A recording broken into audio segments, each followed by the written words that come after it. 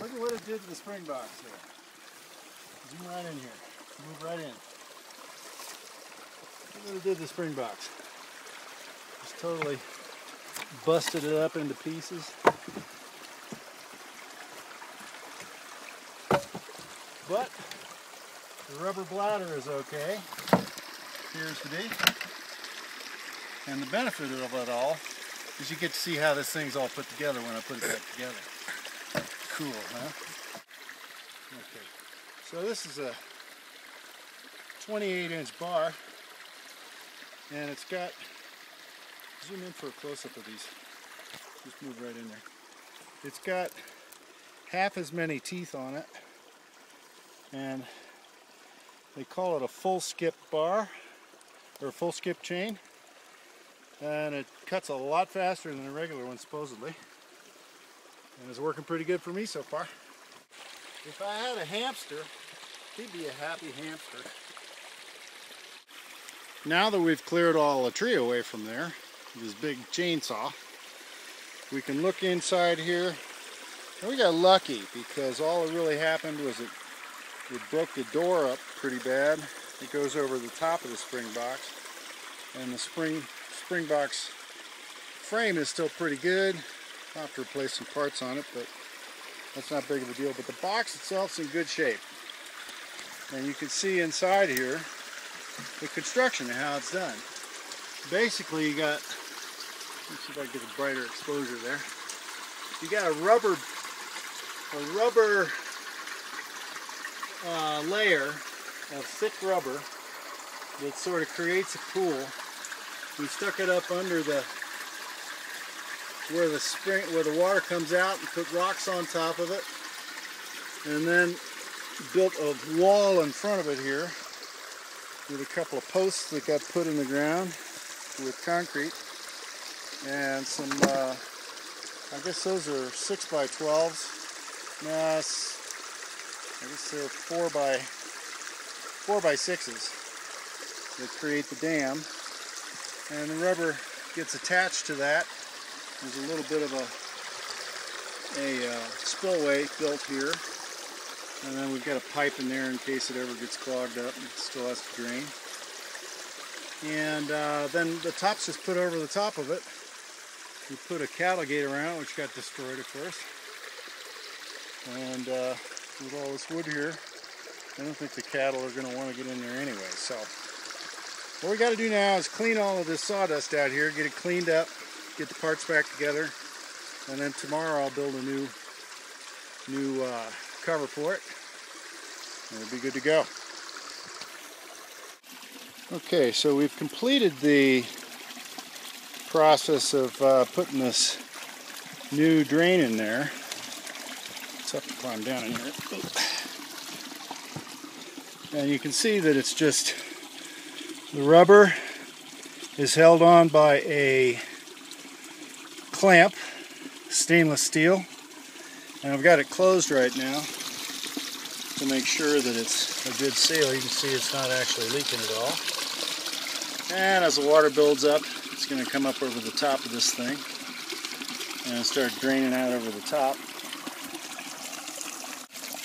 So here's the water draining over the top and the consequence of that is going to be that it's going to take all this stuff floating on top and just clean it right out through the slot here.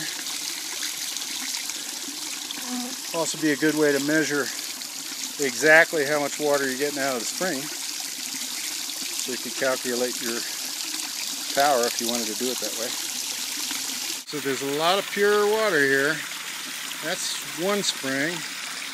That's the source from the other spring because it's a little bit uh, higher than this one is. So combined, we got that much water. It's probably about 40 to 50 gallons a minute. Not really certain. Haven't measured it. Doesn't matter too much. We're going to get power from it once we get this pipe cut out and uh, reconnected. I'm running a Jenny and I got myself a little sawzall here. I'm gonna finish this job up and go turn the power on. Okay, I decided to use a rubber uh, connector clamp here, uh, union, because the, the cut end wasn't too good. There's water. It'd be hard to actually uh, glue it in this watered environment here. And um, there's no pressure up at this end anyway, so any leakage I get, no big deal. Uh, got the new standpipe in place here, and that allows air in when I drain it. So all I got to do is fit a piece of pipe in there. I'll do a dry fit on that one too, because I don't care whether it leaks just a little bit, which I doubt it will anyway. And uh, that'll do it. Okay, we just opened up this uh, thing. We got it all sealed and the two springs are equalizing their pressure and it's kind of spitting a bit. That'll calm down.